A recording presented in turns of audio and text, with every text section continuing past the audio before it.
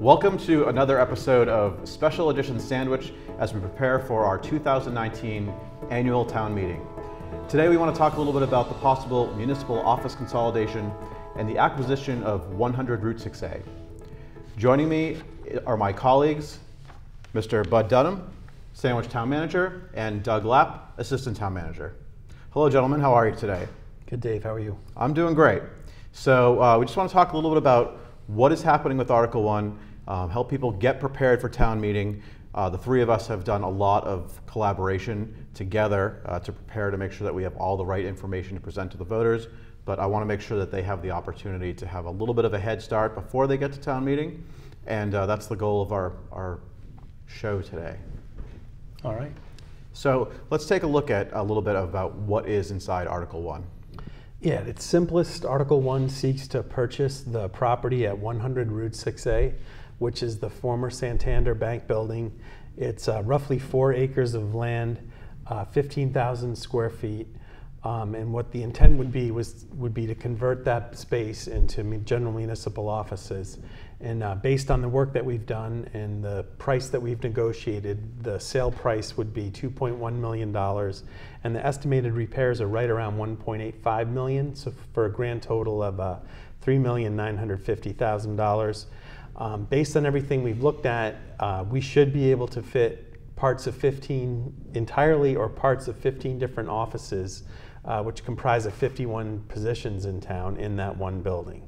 So it would greatly consolidate our services, be able to provide more in, uh, efficient operations, and primarily provide a lot of uh, customer service to the members of the public. Um, and then in addition, the article seeks two other things, and that's permission to sell both the Town Hall Annex at 145 Main Street and the Jan Sebastian office building, which is located at 16 Jan Sebastian Drive. Yeah, and I think that's really important to, to highlight. So I think there's some confusion about which uh, personnel and which offices are, would be going to 100 Route 6A. So it is all the personnel from the town hall, the town hall annex, and the Jan Sebastian building. Yep, and then we'd also pull in um, our IT staff, which is located at uh, Oakcrest Cove. And then also we have one individual from the facilities department who currently works at town hall that would current, you know, continue to work with us. Okay. I think that, that makes a lot of sense. And I think one of the things that's really important to recognize here is that not only are we looking to acquire the 100 Route 6A property, but we'd also be asking permission to sell the properties we'd be vacating as part of the same request, which really makes this a very comprehensive plan. I think it helps financially too, obviously, because from the sale proceeds, we'd be able to set that money aside and use it to hold down our debt expenses in the future. Right. Now, the existing buildings that we have at Jan Sebastian, as well as the Town Hall Annex, what is the current state of those buildings? You want to do that one? Or?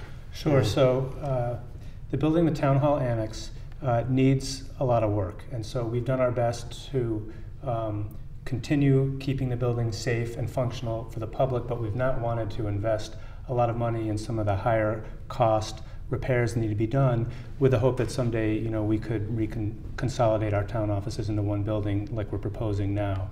So uh, we've done our best, um, but if this uh, proposed consolidation does not occur, there will be significant amounts of investment that we'll have to make uh, to make the building a healthy place for the long term. Uh, Jan Sebastian Drive, uh, there's also some deferred maintenance that we've uh, intentionally not invested in, again, with the hope that we can consolidate. If, if we're not able to do that, we'll be looking at replacing more mechanical systems, more of the building envelope. All in, it'll be hundreds and hundreds of thousands of dollars for both buildings combined in the near future if we're not able to consolidate. Right, and I think, you know, I was thinking a little bit about our, our neighbors earlier today and other municipalities, and I think the two of you probably have more experience, but, you know, I couldn't think of another municipality that's operating on a similar model with having folks in such disparate locations? Yeah, it's you know it's common to have things like police and fire stations, DPW operations at different buildings, but for the most part, almost any other town that we're familiar with on Cape Cod has all the other departments located in one building. This wouldn't completely accomplish that, but it would go a long way towards addressing what you know has been a weakness in Sandwich for many decades. Yeah, and one of the other interesting things I think so, if we were to think about those buildings that need investment, you know, we'd basically be continuing to invest in a poor operating model. And then at the same time, you know, a lot of our residents compare our tax rates to our neighbors, and, and none of our neighbors are operating like we do. Um, it's, it's really not a model geared towards any level of efficiency or to maximize the capacity of our staff. Yeah, I know we're going to talk about it a little bit later, but what really brought that home is we did a study of all of the different foot traffic that we've had, uh, the telephone calls that we receive, and it really shows you that um, what we're trying to do to focus people at one building at 100 Route 6A, you know, the five or six departments that get the most walk-up traffic would all be on the first floor in one building. You wouldn't have to go between three and four different office locations. Right. You know, and, and you know, it's interesting timing the way that this opportunity yeah. has come about for the town. Um, you know, not only is the is a building for sale that would work well, but also from a funding perspective, we actually have the opportunity to pay for it. Maybe you want to talk a little bit about how that works and how we can accomplish that with effectively not really raising yeah. tax rate for our residents. Yeah. So um, the unique thing that you talked about was the new creation of the canal unit number three at the canal power station near the uh, marina. And so with that new unit number three, we negotiated a payment in lieu of tax agreement uh, with the then owners that the property has now changed hands, but they are honoring what our agreement was. So the first year that payments kick in, which will be starting on July 1st, over the course of the year, we'll bring in just over $3.55 million from uh, what technically gets uh, accounted for as a local receipt under the Department of Revenue regulations. So, it, so that's 3.55 million there, and then the remainder of what we're trying to uh, do to purchase this property and to improve it, the other 400,000 would come from our free cash or our certified surplus revenue, which was at the end of the year. So technically, neither of those sources of revenue are from people's tax bills. Now, someone could make the argument the 400,000 from the free cash um, could be used for other things. So even if you do the reverse math on $400,000, you know, for a one-time payment for the average uh, family home in town, it would equate to $38. So for a one-time payment of $38, um, you know, we're able to buy this property in one fell swoop without having to issue debt um, and to be able to make the improvements. And that doesn't even factor in the roughly million that we'd likely get from selling those two other properties. Right, and what do you think that looks like? So, you know, obviously we asked for permission at town meeting, we're successful with Article One, we have the opportunity to sell those two buildings. What do the timelines look like potentially for something like that? So we've, we've already issued a request for qualifications to hire an architect to do all the final design and construction oversight uh, that would be needed for the, the building that we're hoping to acquire, the former bank. So we've, we've already advertised that to get the ball rolling. Uh, if it does not pass a town meeting, then we'll obviously cancel that procurement. Um, but assuming it passes, we'll get working right away with an architect on those plans. Uh, it'll take a couple of months to finalize the work with the architect, finalize the construction documents, put it out to bid. Uh, once that goes out to bid, uh, it could obviously take, I don't have an exact time frame, six months to maybe eight months, closer to a year, I'm not sure, depending on availability of contractors to get that work done. During that time, we can issue a request for proposals uh, to sell the other two buildings that we have. That's been a question that has been asked a few times. Why don't we sell our buildings first, you know, before we acquire a new building? And there's a couple of obvious points there. One is we can't dispose of a building that we need and we have people working in until they have somewhere else to go.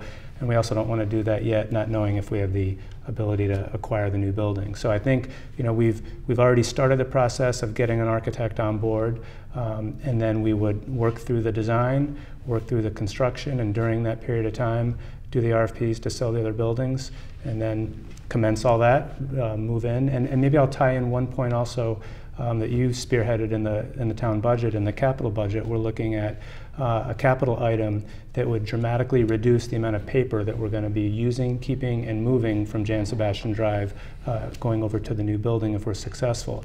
We would digitize and scan literally a million different pieces of paper, um, and then all those documents could be shredded and destroyed afterwards. So not only would we be streamlining our personnel and our physical space, we'd be bringing a lot less paper with us and setting up our systems in a way to be more paperless and efficient in the future.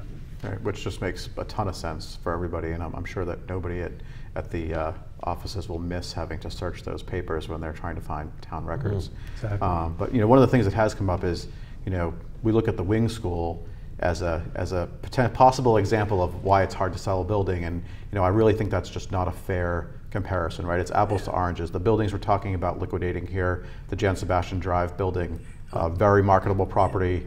Uh, I don't know of a lot of property at all that's for sale in the Sandwich Industrial Park. And I think one of the particular interesting points about that building is not just the building, there's a big piece of land there as well, about 1.6 acres or so, I believe, right? Yes, that's right. I mean, it's certainly not a fair comparison uh, to the wing school. I mean, at, you know, the wing school is enormous. Um, you know, 150,000 square feet or, or, something close to that. And there's a lot of hazardous materials that are embedded in some of the newer additions, which have to be, you know, abated during any sort of demo. And that cost alone is millions of dollars without even doing any real renovation or new improvements. So, and, and that those, that size, scale, uh, and dynamic is not at play in the Town Hall Annex or the Jan Sebastian Drive building. So I agree with you. They're much more marketable and will be much more easily able to be uh, sold, I think. And I think if you look at the Jan Sebastian building, like you had said, it doesn't even sit halfway back on the property. So there's room there for if a private business purchased it to expand operations. Uh, many of the uh, commercial entities in the industrial park need parking. Um, that could all be expanded. And for perspective, it only has 6,000 square feet of office space. If you ever go in there, there's literally not a dedicated meeting room. You know, people are sitting right on top of each other. We have the assessing department relocated there from the basement of the annex, which makes absolutely no sense why our financial departments aren't together and have never been able to be together under one roof. Uh, we're definitely the only town that I'm aware of that has that set up. Um, and in the annex, uh, similarly, it's less than 2,000 square feet. Um, you know, combined, there's 8,000 square feet, and we're looking at roughly 15,000 at, at the 100 Route 6A property. So we could really, um, although things will be tight, they'll be very efficient, and we'll have space for the right offices to be near each other and working in the same building. Right, which and also, you know, not just from that efficiency, being able to work together. There's job sharing opportunities. Yeah. There's collaboration opportunities. Yeah. Um, you know, just the opportunity for folks like yourselves to meet with people from other departments without having to drive across town or you know someone from the IT department not having to drive across town. And we'll talk a little bit about what those potential statistics look like yeah. of who shows up where. But yeah. um, you know just from collaboration on a day-to-day basis this couldn't make more sense really. And just general oversight you know in, in our two roles it's critical you know to be able to be aware of what's going on and we do it as best we can now. Certainly being in the same building gives us a lot more opportunity to do that and to share things if we have something related to one of the inspections offices we can walk right across the hall and talk to them, which would be great. We have that luxury with a couple of departments at, at Town Hall, and I don't think it's a coincidence that we have great relations with those departments mm -hmm. because we're there and we see them every day. Yeah. No, that makes sense. So what happens with the current town hall? That's one of the big questions that the people yeah. keep asking. Sure. Well, I think first thing we should be very clear to remind folks is that we're not proposing to sell town hall because despite right. how many times we said that, that you know that, that has still come up. Uh, the primary focus of the second floor of the auditorium will remain exactly as it is now, but only better. And I say that because all the board and committee meetings would remain the same. So all the Board of Selectmen meetings, finance committee meetings, school committee meetings, and other sort of random public meetings that occur. Those will, that's really the primary focus and that'll remain. There's also a lot of other types of arts and culture functions which happen on that second floor auditorium. Art shows, uh, music, uh, dance, that type of thing. All those type of events uh, can continue and in fact actually be improved on because now they're not really able to do that during normal Monday to Friday working hours because of all the office functions that are happening downstairs. So now they'll be opened up to all different times of day during the week. And also, we've had to use the stage on the second floor of Town Hall as a kind of makeshift conference room because we didn't have any conference rooms available downstairs.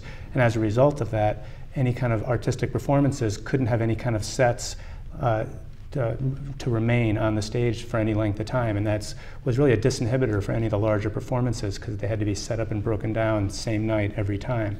So by us relocating, the stage will be able to have much better sets uh, and to, will enable more performances and, and more functions to happen upstairs. Yeah, and it's interesting you mentioned that because not long after I was elected, I was getting those phone calls from the performance companies saying, geez, yeah. we, we can't leave our sets here. Yeah. Um, and it's just, you know, it's a challenge of trying to repurpose the same space right. for different use every single day. Exactly. Yeah, and, and, and, oh, I'm sorry. And you said the stage gets used constantly during the day. Um, you know, there's no private place on the first floor for people to meet. So if someone is coming in to talk about a sensitive tax title issue with the town treasurer, they go upstairs. When our auditors are in for a couple months of year doing the annual audit, they go upstairs. Um, when we have larger meetings at town hall, we often meet on the stage because I think the, the next biggest size table we have, you know, comfortably comfortably seats six people, and many times we've got 15 or 20 in on a meeting. So um, we would have that capability at the bank building at 100 Route 6A, but we uh, wouldn't need to go back to town hall for a lot of those meetings, other than the night meetings that Doug mentioned that we do today. So that part as he said, is going to function the exact same, if not better, than it is currently. Right, so all of our selectmen meetings, school Yep. committee meetings, those types of meetings that take place there today will still be there as they always have been. So there will be no large public meeting room as part of the 100 Route 6A property. Exactly. And, and I should highlight along that point, you know, one of the questions we've received is, well, if we were going to look at this new initiative to, to relocate and consolidate, why did we quote unquote waste that money rehabilitating town hall? And I guess the point is, it certainly wasn't a waste because we, we preserved and, and uh, rehabilitated, you know, an icon in town and, you know, the first um, general municipal town hall created in the Commonwealth in 1834. But the primary purpose of that was the preservation of the second floor auditorium for the same use that we're using it for now, which are public meetings. And so that was the primary focus, making it accessible um, and just shoring up and rehabilitating uh, the space. Um, maybe I can touch on the first floor a little bit, if Yeah, that's all right. exactly. Um, And I think it's important to recognize too, based on what you were saying with the renovations, the renovations of the, you know, re- rehabilitating the second floor, refurbishing the first floor really wasn't towards changing town operations, other than improving, I think as a similar layout office space um, before. The same building, And I- same offices stayed there, but we actually lost usable office space when the renovations were done because, as Doug was saying, the prior building didn't have proper handicap accessibility, didn't have proper access. With the upstairs being renovated, we actually lost some usable space on the first floor. So we made the best of it and we'll continue to do so. Yeah, and I don't want to lose the first floor, but I think one of the other advantages of 100 Route 6A is it's fully ADA accessible. There's, there's an elevator there, there's parking available, there's sidewalks. Um, you know, all of our residents will be able to enter and exit that facility without issue. That's right, and that will be a dramatic improvement from our current state at, at the Town Hall Annex and Jan Sebastian Drive, where we're really not fully accessible, unfortunately. Uh, the first floor of Town Hall, you know, some of the ideas that we've talked about is relocating uh, the archives from the library. One of the benefits of relocating the archives is that it would free up the McKnight room, which is overloaded right now, and that would really allow that space to be better programmed for the library. We've also looked at having an office space for the selectmen to have their meetings, meetings with constituents in town hall. And then lastly, kind of going back in time, the original use of town hall, back when it was constructed, again, there were public meetings on the second floor. First floor was actually leased out and rented out to all different types of private businesses for a variety of different uses. So I think another option that on the first floor, uh, we could look at different types of tourist uh, and tourist uh, business related activities on that first floor, um, and it could really be a, an asset to, uh, to our economy. Yeah, and it's interesting if you look at that history. There was lamp makers in there, and carpentry shops, and dry goods uh, merchants, and things like that, which I think is pretty pretty interesting. Um, but also, you think about the available parking there and things like that. It could be a very good use of the space. Exactly. So I know that we did some activity tracking uh, to try to identify how many people are coming to our town offices on a regular basis. And during the month of March, all of our uh, town staff members kind of ran tally sheets to try to identify where those numbers come together. Can you kind of give us a little bit of a highlight of how many people we're servicing? And, and I know that the data that we have, it's our internal customers, so our, our own interactions with each other from a staff perspective, as well as our external customers from the community. Yeah, so we didn't track emails at all. What we asked people to do was track phone calls, walk up traffic, and meetings that they would hold during the day. And so uh, every person in those 15 departments that I had mentioned previously was asked to go ahead and track that for the month of March. And it's important to point out that's uh, there were uh, there was a period when motor vehicle excise bills were due, but it wasn't a huge month in terms of when tax bills were due. So the collector's office got a huge walk-up numbers, but Um, it would have been even bigger if we had done it, say, in one of the months Mhm. when tax bills were due. But to cut to the chase, between the 15 different departments for those activities that I mentioned, it was over 10,000 trips or phone calls or meetings that were held in each of those offices during that month long period. So when you extrapolate that out for a year, it's over 120,000 visits or phone calls that happened, many of them between offices uh, some with the public, like you had mentioned. And it is unique because certain departments, for example, human resources and our uh, financial director's office and the accounting office, if you think about it, they serve more internal customers or people who are being interviewed for jobs, not general walk up traffic. Um, but what was key was when we looked at where the biggest volume of traffic was, it was the exact same offices that we included on the um, uh, first floor of the proposed uh, 100 Route 6A layout. So, um, for example, the town manager's office, the uh, treasurer collector's office, the assessing department, all the inspections offices, and the town clerk's office are all on the first floor of the proposed uh, layout for the building. Um, and those were the departments that got the most walk-up traffic. So it makes sense that those places uh, that serve the most people are on the first floor to help with customer service. Yeah, and hopefully we can kind of just show that image in just a moment. I think I lost my projector capability. yeah. But what's the experience when you walk into the uh, you know hypothetical new Yeah. 100 Route 6A? Um, I know that we've kind of Yeah. circulated some some layouts. Let me do Go yeah. Sure. So if when you walk in the front door, the main floor of, of what used to be the bank, uh, when you immediately when you walk in, uh, there's a sort of a central. I don't want to call it a hallway, but almost like a central vestibule area. Uh, immediately to your right is a combination treasurer collector's office, and that's probably one of the best examples of the improved efficiency and effectiveness that we were talking about earlier. You know, right now, treasurer and collector are literally in two different buildings. And we did have the ability in the past to combine that position. So now we have a single joint, one person who is the treasurer and collector. So he literally has to run back and forth between two buildings and obviously can never be in the same place, uh, two different places at the same time. So the benefit of when you immediately walk in that front door to your right, when you have the treasurer and collector's office is, for example, if it's a very busy time in the tax collector's office, some of the treasurer staff can help at the window and help with customer service. Conversely, if the other is happening, if it's busy with the treasurers and a little quieter with the tax collector's office, the tax collector's staff can help. That's just one example. So immediately to your right is the treasurer collector. As you go uh, around uh, around the space counterclockwise, the next office is the assessing department, and there's a, a one a joint counter where you can conduct business, and behind the counter, there's no wall there, so the staff can you know work cooperatively together. As you keep going around, directly in front of you now are all the various inspections offices. So those are the departments that were that are currently at 16 Jan Sebastian Drive: the building inspector, board of health. Um, natural resources, etc. Those are all the inspections offices directly in front of you. As you to continue to go around, say to 9 o'clock, if we're looking at a, a clock face, uh, in that left corner, you'd see the town manager's office and the board of selectmen's office, and then completing the circle back toward the front of the building is the town clerk. Uh, so again, right in, right when you walk in the door, as Bud indicated earlier, earlier, you have all the most high traffic departments: tax collector, treasurer, uh, assessing, inspections, and town clerk, and of course, top level management and selectmen oversight uh, in there as well. Yeah.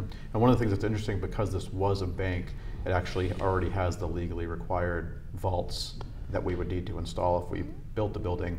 Granted, they might be a little bit bigger than what we need, um, but there's two very large vaults that are already in place in that building for our use. That's true. a really good point. point, and there's actually a couple of extras we don't need. So one, you know, some of the plans are to get rid of the smaller ones. So, Right.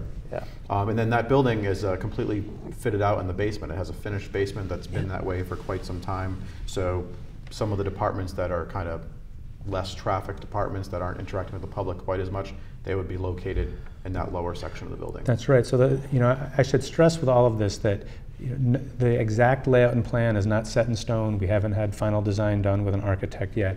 The purpose of what we've done so far is we called it a test fit, just to make sure everybody could fit. So we know that the departments we talked about on the main floor will fit there, and the other departments that can fit on that bottom floor would be human resources, accounting, planning, engineering, and IT. And as Bud just mentioned, that makes the most sense. You know, they tend to have less you know, walk-up traffic from the public compared to the other departments that are on the main floor. And then what about the outside of the property? So I know we've looked at kind of adding enough parking Yes. to make sure that we can accommodate staff and vehicles and visitors. Yep, I think from the initial look that we did in terms of the site plan itself, a couple primary things we need to address is one, if you've ever been in a bank building, there's a quite a large drive-through area that would uh, come off the building.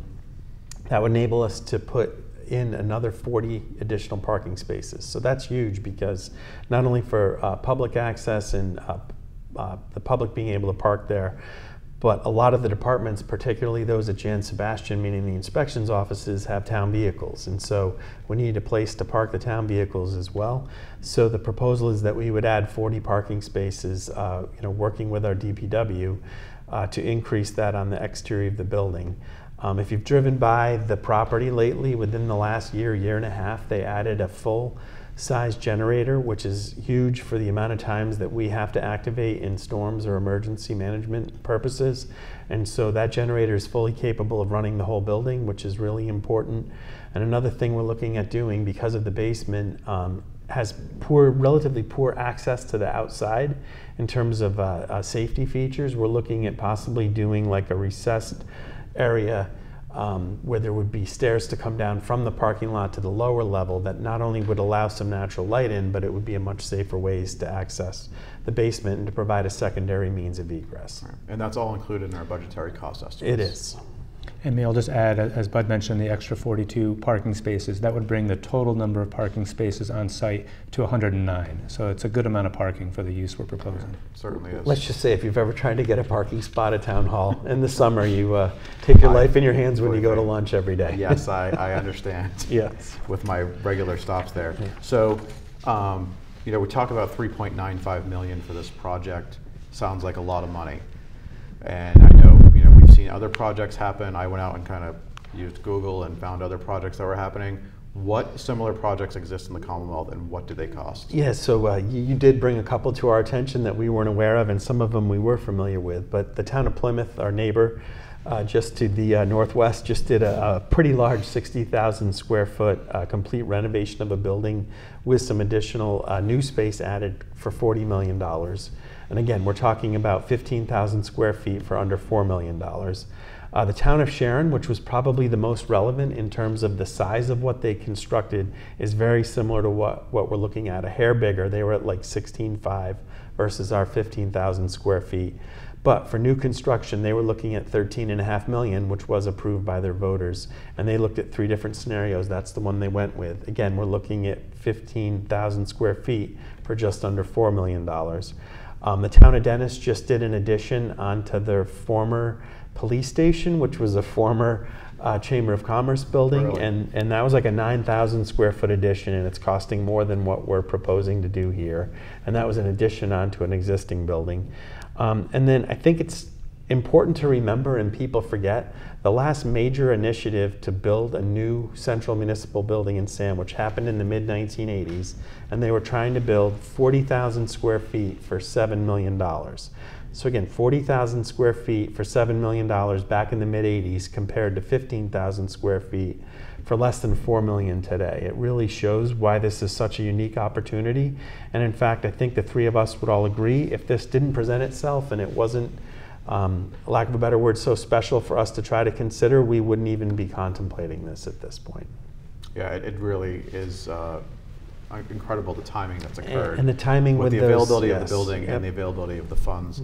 And then I just also personally, from a historical perspective, Yep.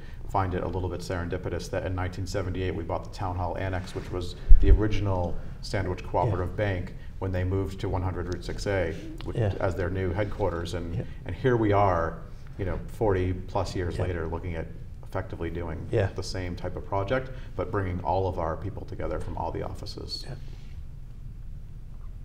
So I know there's been a, a few concerns that have that have kind of rolled around about this project. Um, some folks are concerned about flooding. Some folks are concerned about um, traffic congestion. You know, I know that we have some proactive plans to, to take a look Yeah. at those things, and some of them, frankly, probably aren't concerns at all. You Yeah, want to just comment on those a little bit? Sure, I'll, I'll comment on those too. Maybe Doug can take the next ones. But the uh, flooding isn't a concern. The uh, flood elevation that's looked for uh, with current FEMA standards, Federal Emergency Management Agency, is an elevation of at least 14 feet above sea level. Um, that is more than 25 feet above sea level at the 106A property. So in short, if we're having water problems there, the problems townwide are going to be much, much greater than we, I think, any of us have ever imagined. So there really isn't any concern, any special construction we have to do because of where it resides, relatively close to Route 6A, but certainly much, much higher up than most of the properties that are lower lying, including the uh, poli- current police station and the downtown um, fire station. Um, in terms of traffic, um, without a doubt, especially in the summer, sometimes it's hard to get out of the, the former bank property. The bank did exist there for many decades, it, it functioned well. Um, it may be that we have to look at something like right turns only when the traffic is backed up, uh, but most of the time it really isn't an issue. And I think most of our traffic and um, drive-up capabilities seem to be spread out throughout the day. There's not just you know one small period of the day where there's a big rush of people. Um, so except for the commuting times, I would think it would you know it can easily be addressed. Or if we require people to turn right and find other ways to get back to 6A, that's possible as well. Yeah, I think one of the biggest questions I hear about this project is, we have the wing school, it's sitting there, let's just move everybody to the wing school. Why does a project like that not make any sense? I mean, the simplest answer is it would cost a lot more money. I mean, certainly anything's possible, it could be done, but instead of spending $4 million, we'd be spending $30 million or, or more. And So the that, that's question the is simple why? answer. Right. Why does it cost thirty million dollars to renovate the wing school? Right. Well, Right. A, because the building's in terrible condition, let's be blunt. Mhm. And also, it, it wasn't built for offices. It was built for classrooms back in the 1920s. Um, and to bring it up to current standards and codes, um, anyone who's been in the wing school, it has these weird half half floor I levels. years in the wing school. You know, the bathrooms are on half floors between each regular floor, and you know, there's just no way cheaply to make that accessible and to meet modern building Right. codes. So it's, it's part a of the change of use effectively triggers all those codes. So fully ADA accessible end to end, fully sprinkled end to end. And even if we kind of cut off the back additions and, and moved over to just focusing on the 1927 building, we're talking about a project that costs tens of millions of dollars Right. easily. And, you know, we, we do have, these aren't just our estimates, we didn't make them up. These were professional architects and engineers and cost estimators that documented this, and we have all that information available on the town website. And the numbers are four years old, so Right, you know, so they're higher. They're higher than now than they were then. Right. And I think the other big Yeah. conversation around this building, obviously, is you know what do we do about accomplishing uh, or fulfilling the need for a new senior center? And I know that the Board of Selectmen has really uh, committed very strongly to moving that initiative forward, um, based on urging from the COA, which which really came about because of this project. And you know we weren't expecting to to pursue a, a new building for town offices, but it kind of fell in our lap. But I think that it's done a good job of advancing the need for the senior center and, and putting some real goals about how we're going to make a definitive plan uh, this fall at a, a special town meeting. I mean, just for perspective, if you go into the bank building today, which by the way, we have an open house this Saturday from Right. 9 a.m. to noon on the 27th. So if anyone would like to come and take a look, um, several of us will be there to help answer questions, but people can just walk through the entire building.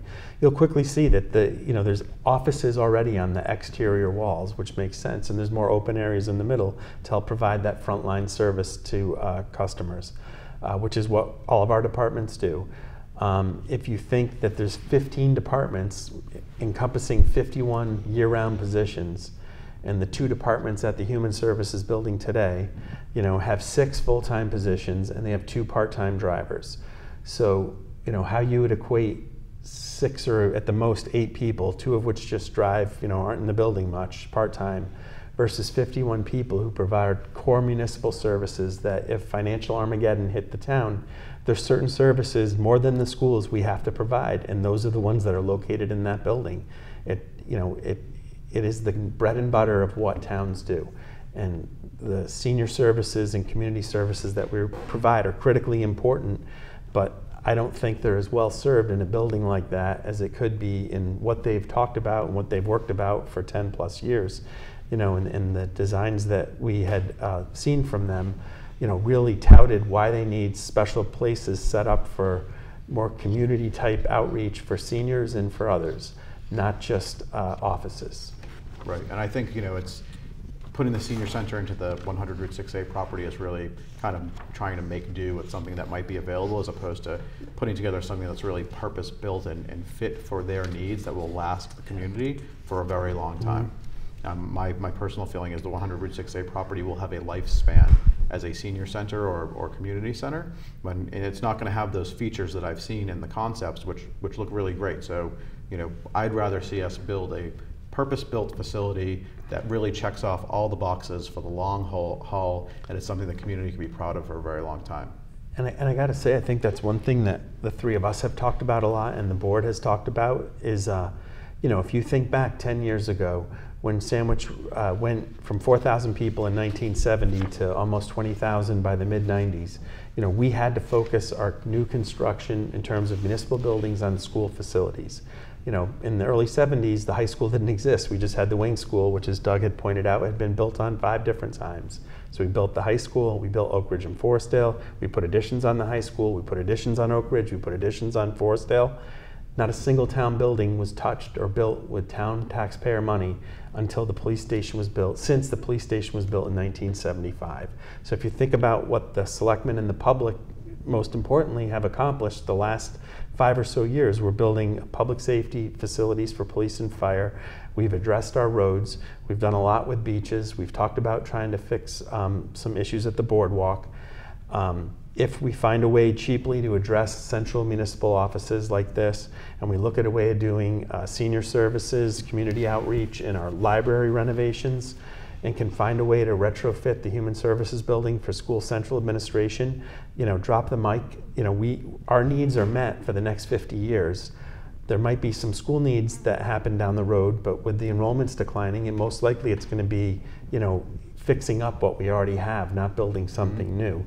And the wastewater is the other big thing that we've done. So if you think about how far we've come in the last five years, when we basically completely ignored municipal operations and buildings for many, many decades, you know the ends in sight and for relatively very short money we can get one of these things accomplished and then present what the board's talked about in the fall to the voters about the library and a senior community center. Those, those things are huge and we're that much closer to being done. Right and another opportunity to fulfill a need without going to a debt exclusion which would impact taxes. Right. And just as we're mentioning taxes i think one of the other things i've heard uh, quite a bit is you know acquiring the 100 route 6a property will take it off the tax rolls and you know, yes, it will do that, but at the same time, we'll be returning the town hall annex and the Jan Sebastian property to the tax rolls. It's very likely the Jan Sebastian property would be further developed and have a higher value than what it would otherwise, um, certainly from when the town acquired it in the early 90s. And also, I think it's worth noting the property that we're trying to acquire at 100 Route 6A, it's been for sale. It's been vacant for you know almost two years now. So if there was some really dynamite, high-end, you know, commercial use that was viable, it would have been uh, done by now, and it's just not there.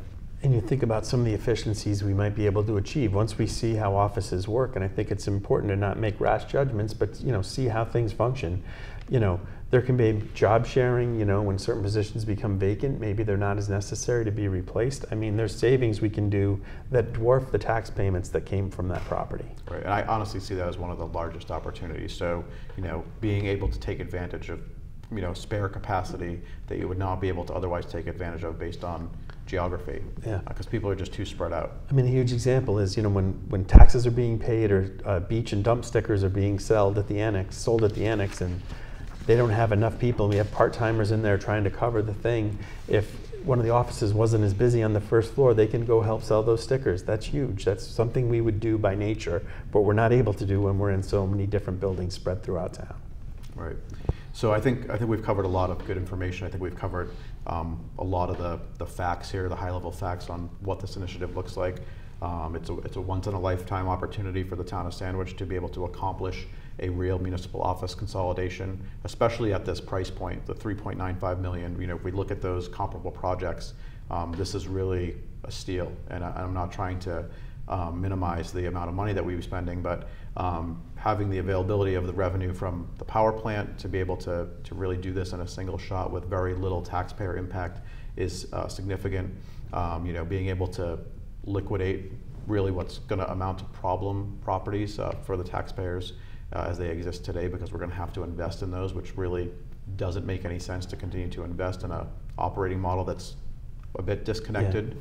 Um, you know, that also makes a lot of sense too. So, um, you know, I'm, I'm personally very excited about the opportunity. Um, hopeful that folks are going to come out to town meeting on our uh, May 6th, uh, May 6th town meeting, Article 1, and support the municipal office consolidation acquisition of 100 Route 6A. Are there any other pieces that you gentlemen would like to, to add that maybe we missed? I would just reiterate, you know, the customer service, the internal efficiencies, and most importantly, being to pay for it with one-time funds without any recurring costs on the taxpayer. And truthfully, by taking the money from the unit number three payment and the rest from our certified free cash number, there literally is not, in terms of someone's tax bill, anything that's going towards the purchase. And we will never be able to do this again this way. That's what I was going to say. If we're ever going to accomplish this objective, this is the most financially responsible, cost-effective way to get it done. It's true. It's, it's truly a one-time opportunity. Okay. Well, we thank you for uh, watching today. Um, I hope that you've, you've been able to learn a lot about what this project is about and what it means and, and what its potential future impact would be for the town of Sandwich. Um, if there's questions that you still have, feel free to give any of us a call at Sandwich Town Hall, or you can email us, uh, at townofsandwich.net, and we will all get a copy of that. Town meeting is on Monday, May 6th at 7 p.m. in the Sandwich High School Auditorium. Um, this will be Article 1. So uh, we're certainly asking for your support, and we hope to see you then. Thank you so much.